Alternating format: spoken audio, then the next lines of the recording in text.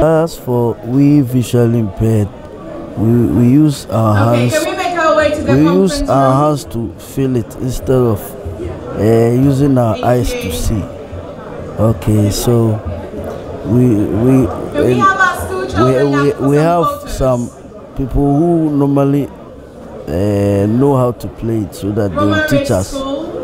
Yes. Oh, you see, you cannot steal, uh, especially when whenever you are playing some hymns.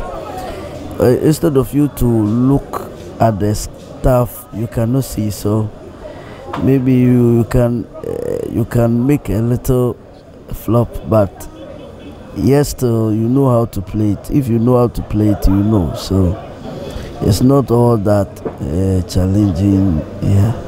Oh, no, but. Uh, I am old student at the school for the blind, so uh, the choir master is my teacher.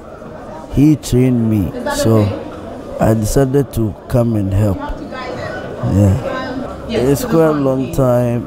Um, not too long ago. Yes, around uh, six, 18 years, 19 thereabout.